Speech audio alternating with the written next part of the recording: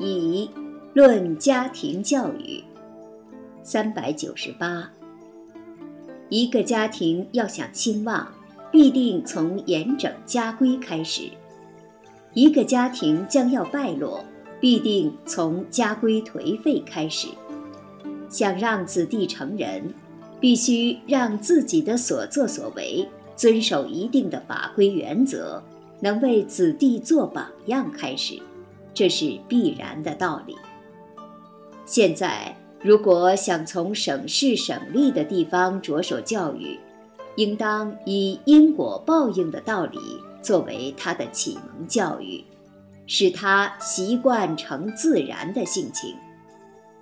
但愿孩子将来为人处事不至于有大的偏差，这确实是挽救世道人心、化导民众。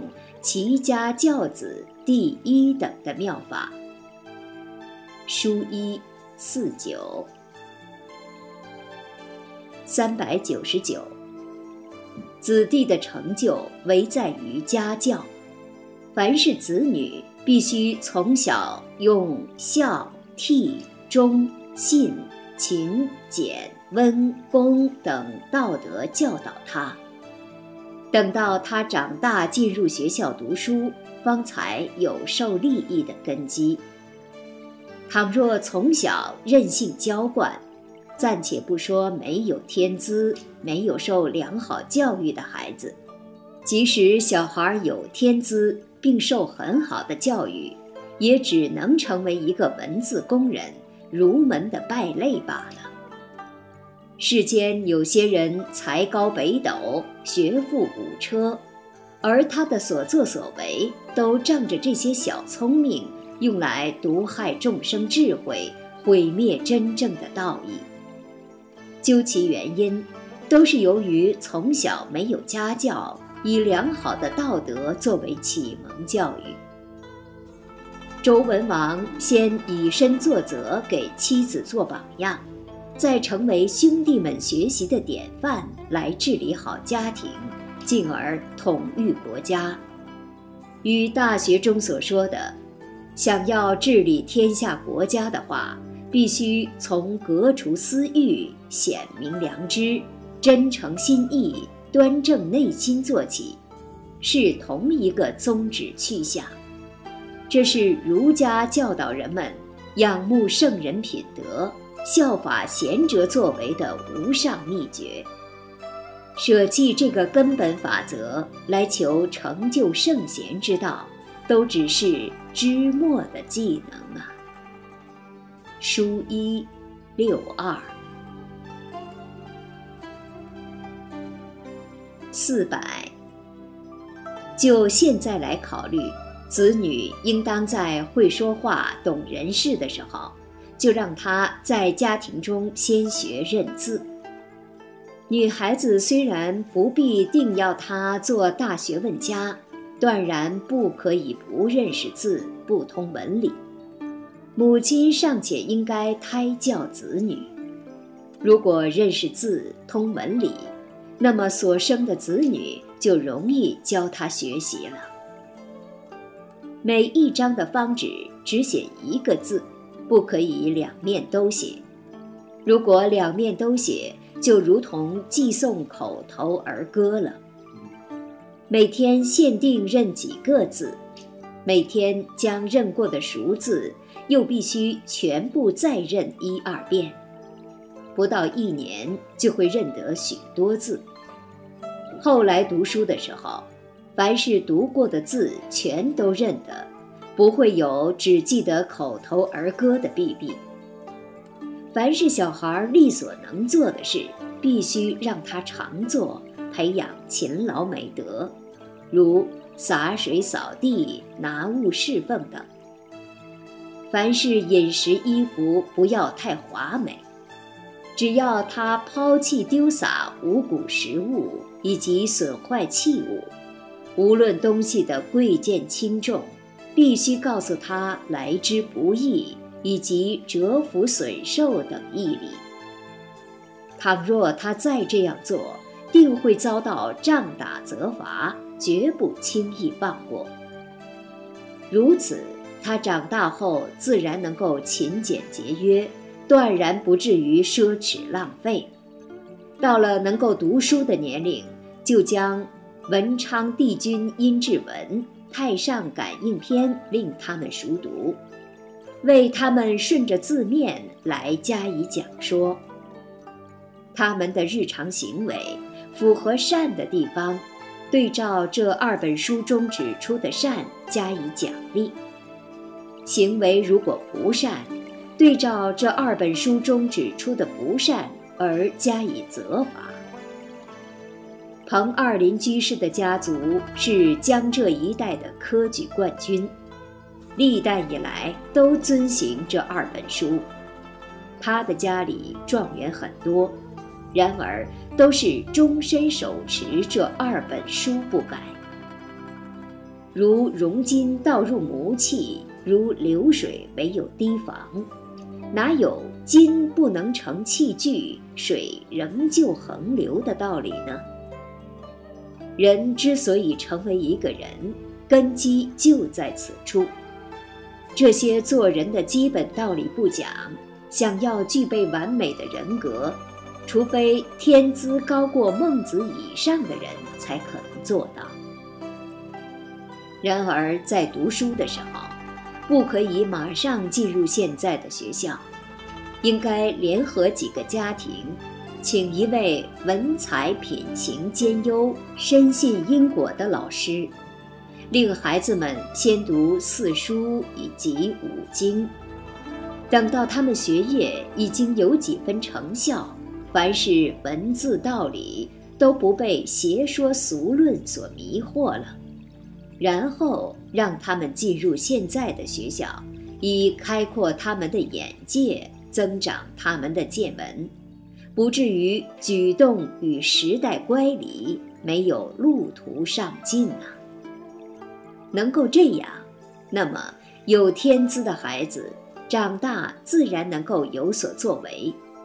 没有天资的孩子也能成为一个良善的人。穷困时修养身心，显达时兼利天下，自利利他，实不超出这些老僧常谈的话。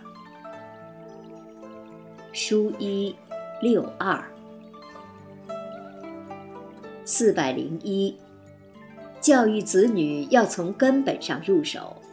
所谓根本，就是孝敬父母、服务大众、忍受耻辱、努力实践，以身为教，以道德作为规范。比如，把融化的金铜汁倒入模中，模子直，它就直；模子弯，它是弯。大小厚薄，没倒入模之前，就已经可以知道了。何况出了模子后的形状呢？近代的世育人情多半不是如此，所以那些有天资的子弟大多狂妄悖逆，没有天资的人回复到教育前的顽固恶劣状态。这就是因为，在孩子年幼时没有立下规矩，好比融化的金汁。倒入了坏的模子中，必然铸成坏的器具。虽然金子的本质是一样的，造出来的器具却有着天壤之别呀，太可惜了。佛教导我们正道无我的实相，现在的人每当稍有知见，就会变得目中无人。这样做。是只知道文字义理是佛法，却不明白修身静心、灭除我相，努力勤修定慧，以此来达到断惑正真的境界，那才是真正的佛法呀。书二五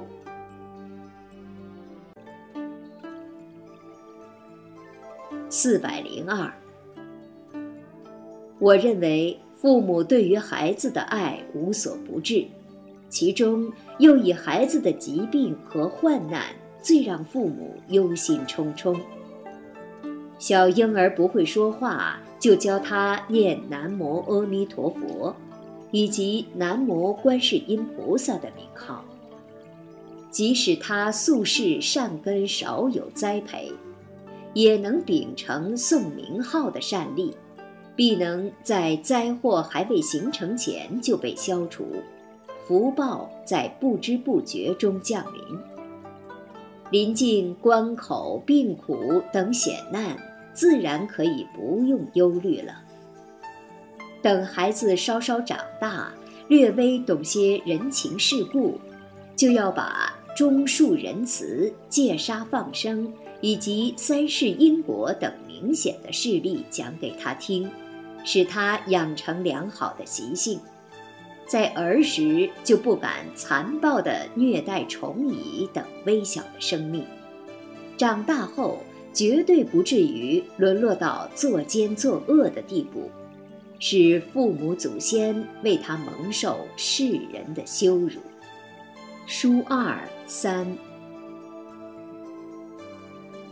四百零三，有才华的子弟，如果能受到良善的教育，就容易成就正气；没有善的教育，很可能就成为骄牙败种。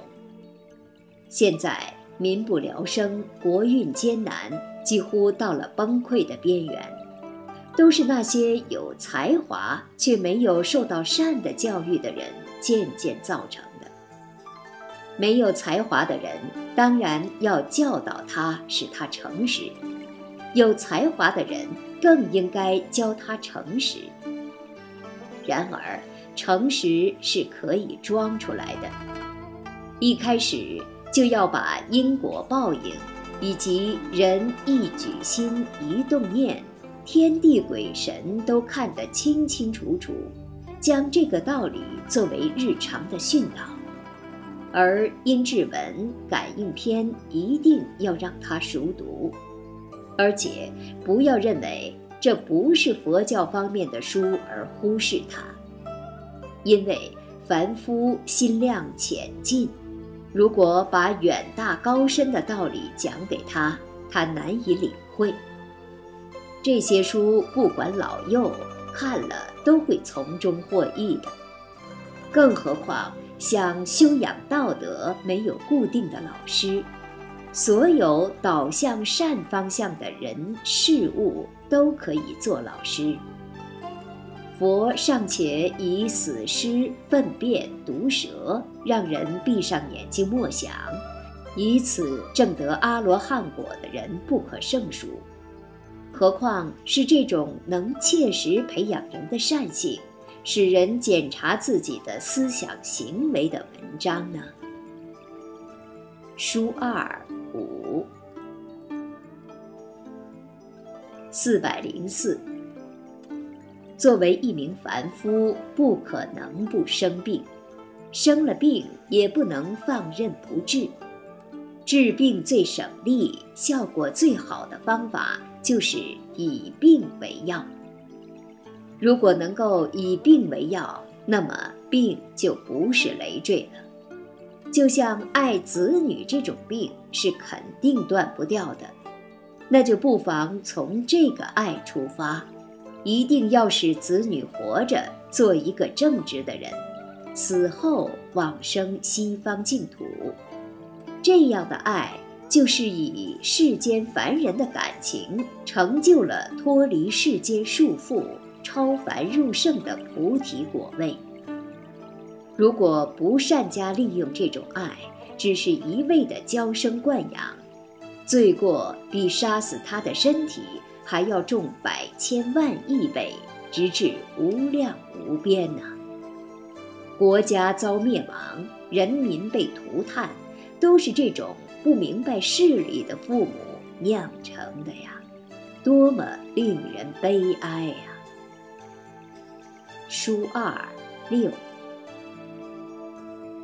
四百零五。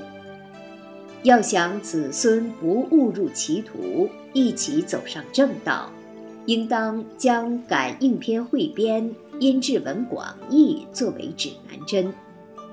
那么，即使社会上世俗的习染如恶浪滔天、黑云遮日一般浓厚，他也不会迷失方向，跟着别人一起全体落水。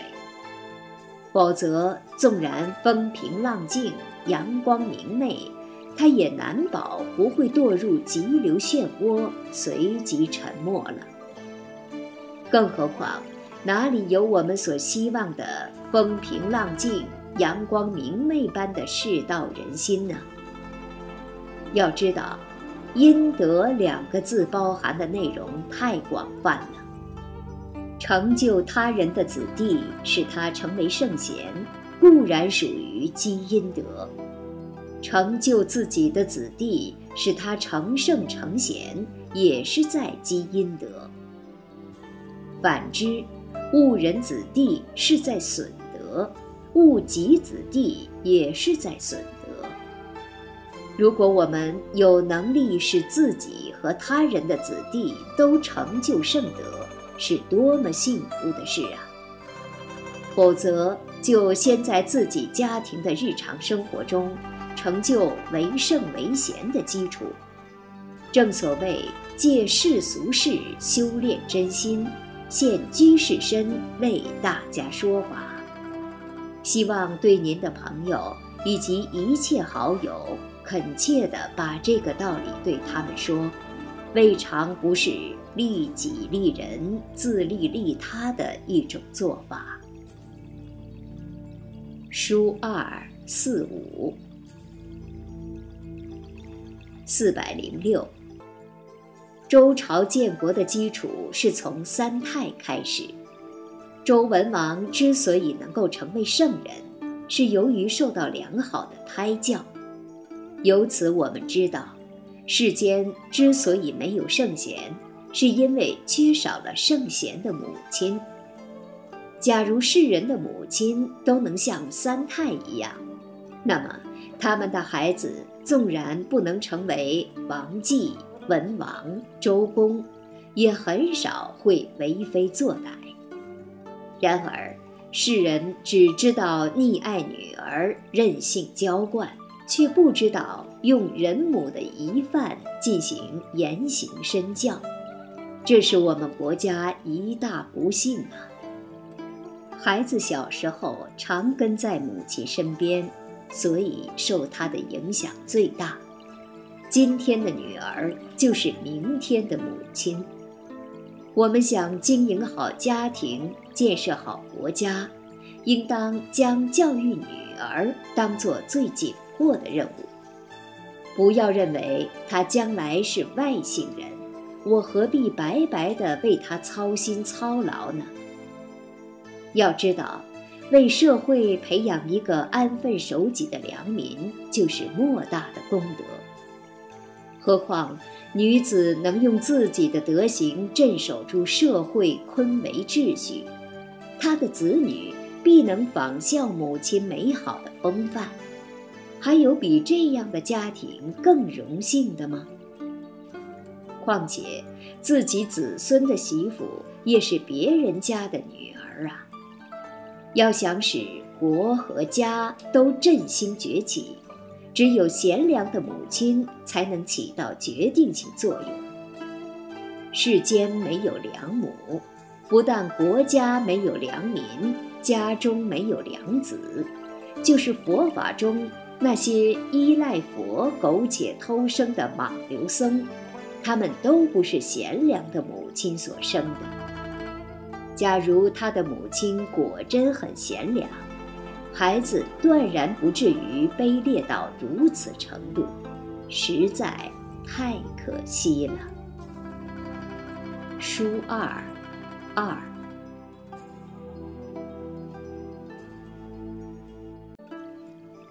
四百零七。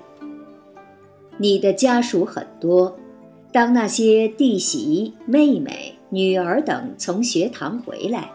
你要把因果报应以及念佛的利益讲给他们听，使他们各自明白自己的心与天地鬼神相通，与弥陀慈父相通，由此断除恶念，增长正信，使她现在足以成为别人的贤妻，将来足以成为一位贤良的母亲。再把这个风气推广到整个乡里，也是治理国家的根本办法。菩萨随顺世俗的方便利益众生，并不另起炉灶，只是对症下药，使众生能找到回家的路而已。现今学堂中的妇女，大多心生叛逆狂妄的心，想操控政权。却不知道各自守住妇女的本分，相夫教子，才是使天下太平的根本。所以，周朝八百年的王业，奠定基础的还是三太呀。太姜、太任、太姒这三太是女人中的圣人，她们就是把用女性的柔顺在背后帮助丈夫。从胎教开始教育孩子作为自己的任务。现在的女人不学习这些本分事，她们所考虑的都是扰乱天下的方法，造成的祸害怎么说得完呢？书二四四百零八，人生世间。无论其善恶，都需要有人的教育辅助，才能有所成就。即使上天想让他成为圣人，也还需要贤母贤妻在道德方面予以辅助。何况天资不如他的人呢？因为有了太任的胎教，致使文王有天生的圣德，所以《诗经》中称赞他。给妻子做榜样，再给兄弟好影响，凭着这些美德治家和安邦。然而，这都是从文王一边说的。倘若论及太姒的德行，也足以辅助文王成就王业。他们俩人就像两盏灯互相照耀，越发显得明亮。两只手互相洗，才能洗得很干净。读一读《诗经·思斋》中“太任太姒继承美德”的说法，就可以知道了。如此说来，世上少有贤人，是因为世上少了贤母与贤妻呀。妻子能以女性的阴柔来帮助丈夫。母亲能对子女进行好的胎教，况且孩子出生后的几年中，每天都跟在母亲身边。如果母亲能用美好的风范影响他，经常对他进行教诲，他的性情就会在不知不觉中发生改变，定会收获意想不到的效果。我常说。教育好女儿是齐家治国的根本，也常说治国平天下的力量有一大半是操纵在女人手中，就是这个意思。因为天资高的人，如果有贤母来造就他，有贤妻辅佐他，他一定可以一成新政，彰显人人本有。自身所具的光明德性，而且精益求精，直到最完善的地步，且保持不退。失意落魄时修养自身，德智通达时造福天下。即使是天资平常的人，也可以循规蹈矩，做一个安分守己的良民。断然不至于欺天越礼、为非作歹，使母亲蒙羞，危害世人。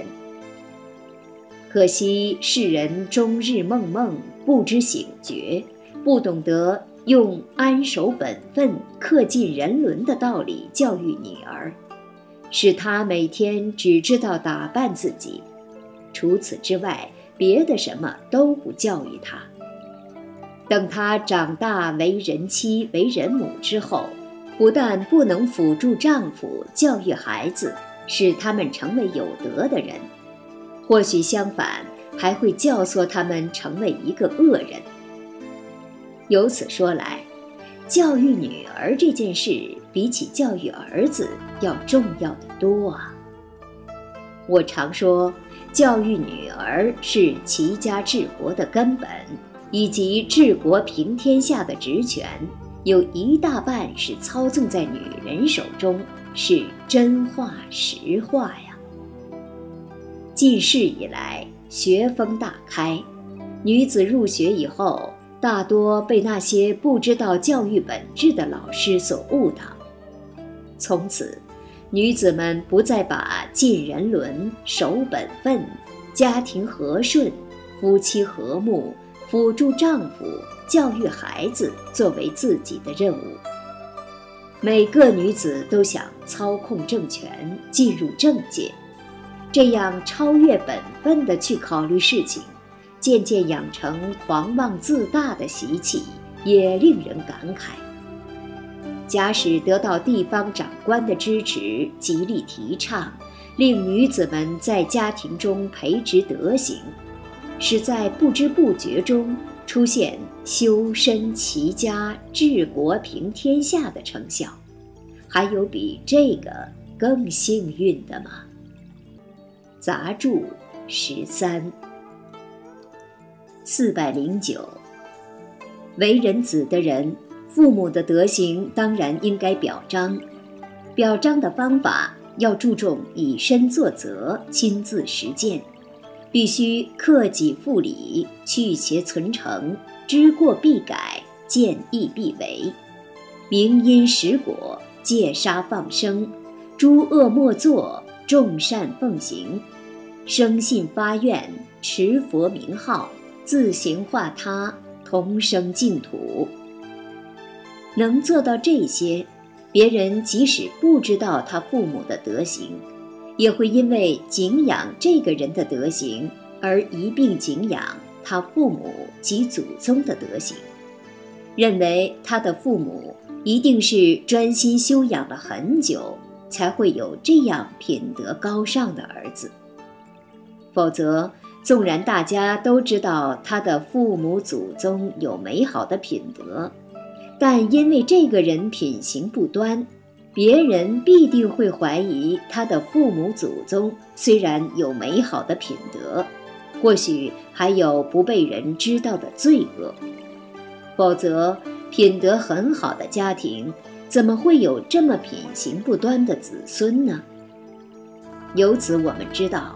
修养自身，奉行道义，就是在表彰父母祖宗的德行。为人子的人要主敬慎独，躬行实践，才不辜负父母的养育之恩呐。杂著十四，四百一十。世间有贤母，才会生出贤人。古时圣贤人的母亲都从胎教就对他们开始栽培，希望在造就秉性气质的初期，期望他务必成就好的习惯与性情。世人之所以用太太称呼女人，是因为太姜、太任、太姒三位圣女都能相夫教子，开创八百年王业的原因。在于启用了称职的人呐。我常常说，治国平天下的权力有一大半操在女人手中，又常常说，教育女儿是齐家治国的根本。这是指她能严格的遵守妇女的道德规范，辅助丈夫教育子女而言的，不像现在的女子们，大多不守本分。都在妄想着手握政权，做一番轰轰烈烈的大事，却不知道女人应从治理好一个家庭开始。正所谓，把天下的铁都聚合在一起，也铸造不成这样一个大错。所以，世道人心每况愈下，天灾人祸频频发生。虽然这是众生共同所造作的恶业所招感，其实也是家庭教育失败导致的。所以，有天资的人狂妄自大，没天资的人习惯做愚妄不化的人。假如他们平时都有贤母教育，那么每个人都可以成为有道德的人。处境恶劣时修养自身，德智通达时造福天下，不至于国家统治阶层没有制定法律制度和道德规范。平民百姓们无法可依，无道德规范可遵守，国家政局动荡，管理漏洞百出，弄得民不聊生。杂著十五，四百一十一。但求不饥不寒，何思财发巨万？以子黄金满盈。不如教子一经，祖德若亏，便当愧死；祖业纵亏，有何所伤？书一十七四百一十二。富贵人家子弟多半不成器，根源在于父母爱他们的方法不对。或偏重于给他钱财，或偏重于让他穿好的衣服，让孩子随便花钱，必然胡乱吃东西而生病。如果为他把钱存进银行生利息，其他的孩子就会对父母心生怨恨，对父母所偏向的兄弟姐妹心生妒忌。这些都不是教育孩子孝悌之道的方法。如果女儿有钱，出嫁时必然因为自己有钱而骄傲，或看不起丈夫，或不明事理，用钱帮助丈夫做不法的事情。想要儿女成为贤人，应当教他行善积德，而不是为他积蓄钱财。财是祸患的根源。你看多少白手起家的人。都是从没钱开始，家产从勤奋中积累起来，而那些大财主家大多不久房产就被变卖一空了。所以古人说，给子女留下整箱的黄金，不如教孩子一部经书。孩子能读书就让他读书，不能读书就让他或工或农或商。从事一个职业作为立身养家的根本。女人如果有钱，明晓道理，钱当然可以作为她助道之资本。不明道理的，钱不但会害了女儿，也害了女婿，一并也害了外孙外孙女。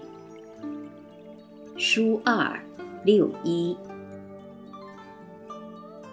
四百一十三，人这一生的成败，都在于幼年时的教育与培育好习惯。你已经长成童，要能够明辨是非，千万不要赶时髦，要学孝悌，学忠厚诚实，要趁现在年轻，精力旺盛，努力读书。凡是读过的书。要想想书中所说的事，是要让人们按照去做的，不是读了就过去。书中的内容有的不太容易明白，而音质文、感应篇等，语言比较直白，易于领会。要常读一读，想一想，不断改正错误，及时行善。在闲暇的时候。尤其应该念阿弥陀佛、观世音菩萨，以此来消除业障、增长福慧。千万不要认为这是很辛苦的事。古语说：“少壮不努力，老大徒伤悲。”如果现在错过了学习的好时光，以后纵然再努力，也很难有成就了，因为年龄大了以后，记忆力会减退，再学东西只能是事倍功半。第一，先要做好人，见到有德行的人就向他看齐，见到没有德行的人就反省自身的缺点。第二，要知道因果报应。一举一动不要随心所欲、恣意纵情，必须想到这件事对于自己、对于亲人、对于别人是否有好处。不但做事要这样审查，就是起心动念也要这样关照。起好心就有功德，起坏心就有罪过。要想得好报。必须存好心，说好话，行好事，有利于别人，同时也不伤害自己他人才可以。如果不这样，怎么会得到好报呢？比如把一个很丑的像放在镜子前面，镜子里决定不会出现好的像，镜中所出现的与这个丑相一模一样。你真的明白了这个道理，将来必定能做一个正人君子，使所有的人都尊重爱慕。